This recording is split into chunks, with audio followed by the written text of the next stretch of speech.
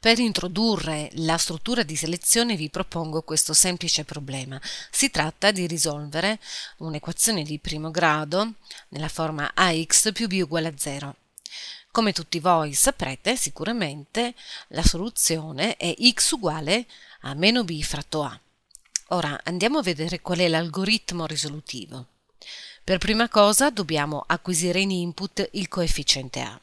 Successivamente dovremo acquisire in input il termine noto b. Poi ci dobbiamo domandare se a è diverso da 0. Se a è diverso da 0 possiamo procedere al calcolo del valore di x utilizzando la formula x uguale meno b fratto a e poi produciamo in output il risultato. Altrimenti, se b è uguale a 0, andiamo a produrre in output la stringa equazione indeterminata, poiché in questo caso abbiamo la forma indeterminata 0 su 0. Altrimenti, cioè se b non è uguale a 0, dobbiamo produrre in output la stringa equazione impossibile. Andiamo ora a disegnare il diagramma di flusso. Acquisiamo in input il coefficiente A, input A, acquisiamo in input il termine noto B, input B. Riduco le figure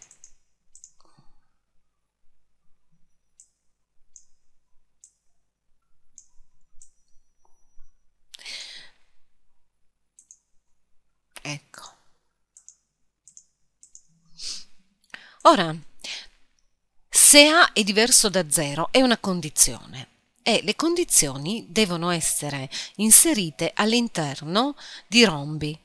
Quindi disegno un rombo e all'interno vado a scrivere la condizione A diverso da 0. A per l'operatore diverso userò la sintassi che utilizziamo in Java. 0. A diverso da 0. Se A è diverso da 0, quindi se A diverso da 0 è true, allora andiamo a calcolare x. Quindi x uguale meno b fratto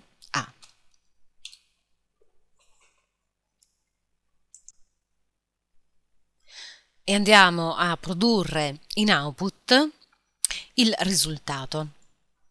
Quindi output di x. Altrimenti, se A non è diverso da 0, cioè se A è uguale a 0, quindi mm, etichettiamo questo ramo con false, allora, in questo caso è necessario imporre un'altra condizione. E, ehm, bisogna chiedersi se b è uguale a 0. Useremo un altro rombo, b uguale 0 e andremo appunto a eh, scrivere che cosa occorre fare se la condizione è vera o falsa.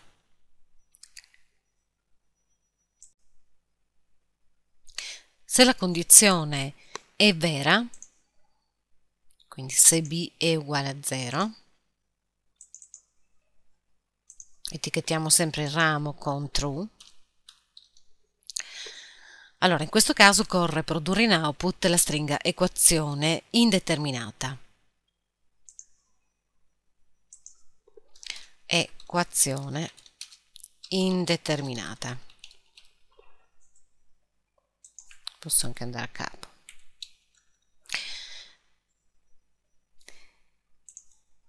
se la condizione invece è falsa false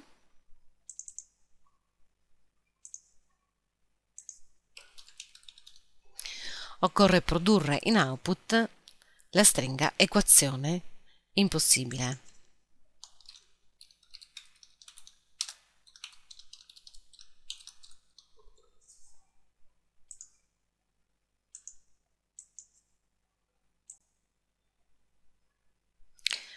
Bene, ora che abbiamo descritto cosa fare quando la condizione è vera e cosa fare quando la condizione è falsa, possiamo chiudere questa struttura.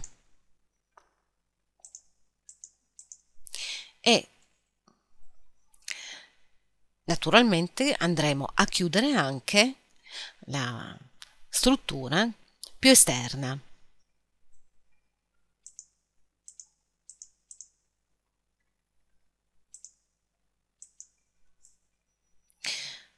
Da questo punto centrale più o meno, cioè corrispondente a questo vertice, tracciamo una freccia e dobbiamo solo più inserire il simbolo di terminazione.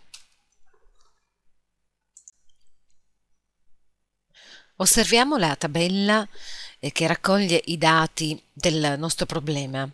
I dati sono tre, il coefficiente di x che abbiamo chiamato a, il termine noto che si chiama b e il termine incognito che è la x. A e B sono dati di input, devono essere quindi acquisiti e sono di tipo double. X è un dato di output di tipo double. Vediamo il diagramma di flusso e la relativa codifica Java. E, ehm, allora, la prima istruzione, quella relativa al blocco 1, può essere codificata in Java utilizzando la classe JOptionPane per creare finestre di dialogo. In questo caso quindi il codice corrispondente al blocco 1 diventa A uguale double punto parse double aperta tonda. J option pane punto. Show input dialog e tra parentesi la frase che vogliamo paia a video. Inserire a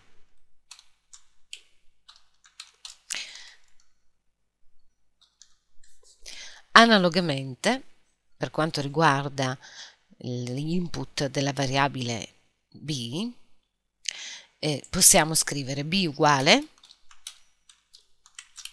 double punto parse double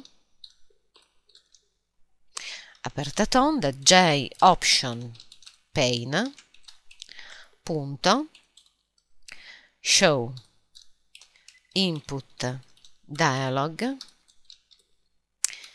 aperta tonda, inserire B.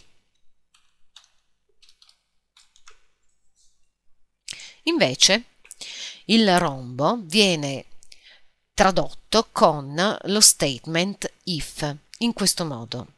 If, aperta tonda, scriviamo la condizione contenuta nel rombo, quindi A diverso da 0, e chiudiamo la parentesi tonda e poi apriamo una parentesi graffa. Subito dopo la parentesi graffa andiamo ad inserire tutte le istruzioni che si trova, trovano nel ramo vero, nel ramo true. Quindi l'istruzione il cui blocco è, che si trova all'interno del blocco identificato con 4, che è un'assegnazione, quindi x uguale a meno b fratto a e poi l'istruzione di output system.out.println di x, naturalmente possiamo accompagnare la x con una frase esplicativa, ma lo vedremo poi quando andremo a scrivere il codice in Eclipse.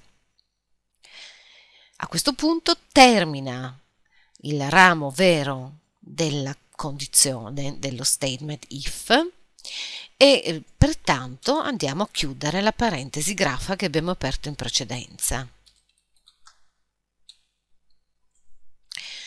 E il ramo eh, false contiene, della prima condizione, contiene un'altra condizione e altri rami true false.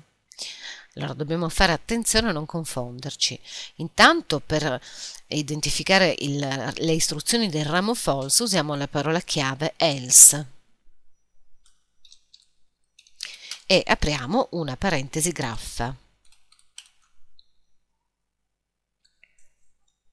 Andiamo anche a chiederci se b uguale a 0 utilizzando sempre lo statement if, cioè if aperta tonda b uguale uguale 0. Vi ricordo che l'operatore di uguaglianza in Java è rappresentato con il doppio uguale.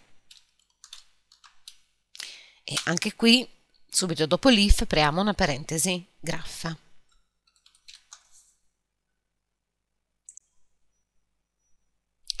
Ora andiamo a scrivere l'istruzione che si trova nel ramo vero della condizione b uguale 0.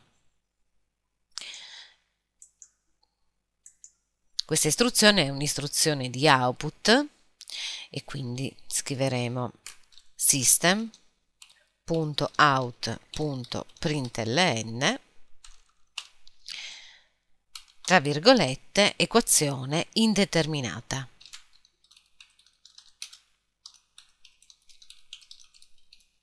Chiuse virgolette, chiusa, tonda, punto e virgola.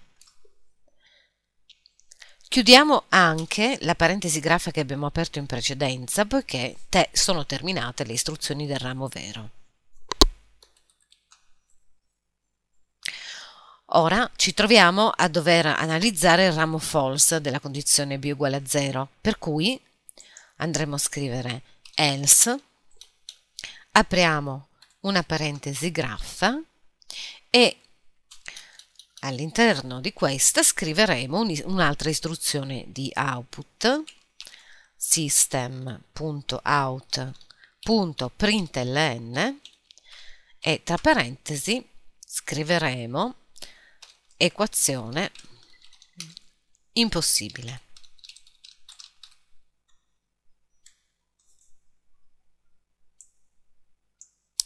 Equazione impossibile. Chiusa tonda, punto e virgola, chiusa la graffa che abbiamo aperto subito dopo l'else e attenzione perché avevamo aperto una graffa in corrispondenza di questo else, pertanto dobbiamo chiuderla. Qui non si vede molto bene perché il codice non è indentato in maniera corretta, in Eclipse si vede chiaramente la mancanza di una parentesi perché il codice è allineato in maniera corretta. Creiamo un nuovo progetto in Eclipse, un nuovo progetto Java e lo chiamiamo equazione primo grado e poi clicchiamo su Finish.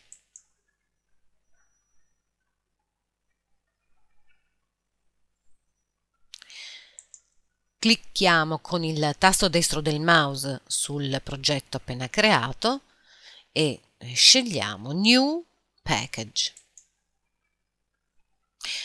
inserite un nome, eh, un vostro nickname oppure un nome significativo per, per indicare il package all'interno del quale inserirete il codice. Io uso il mio nickname punto equazione.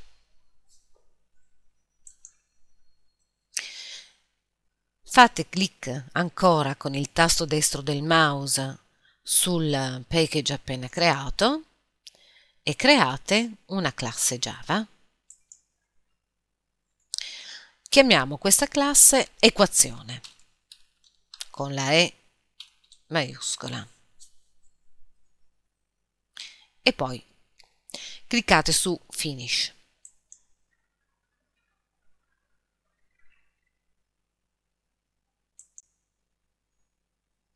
Infine, ecco il codice Java. Eh, possiamo fare la seguente osservazione.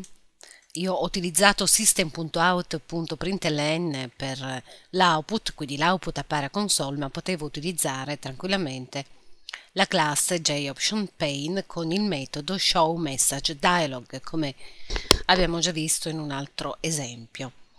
E proviamo ad eseguire eh, questo programma eh, nei tre casi possibili. Allora inseriamo come coefficiente eh, A il valore 1, come termine noto 1, il risultato dovrà essere x uguale meno 1 e di fatti così è.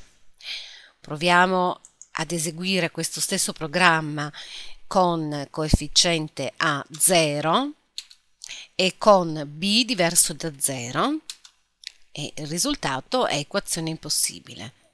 Infine inseriamo il coefficiente, sempre, coefficiente A sempre uguale a 0 e il coefficiente b uguale a 0 e l'equazione sarà indeterminata. Voglio solo farvi osservare una cosa ancora. Nel caso in cui il coefficiente A sia diverso da 0, per esempio 2, ma il termine noto b sia 0, il risultato dovrebbe essere 0 e qui invece eh, ci appare in output meno 0 che ovviamente non ha molto senso. Pongo questa questione a voi e vi chiedo come la risolvereste, provate ed eventualmente più avanti vi proporrò la soluzione.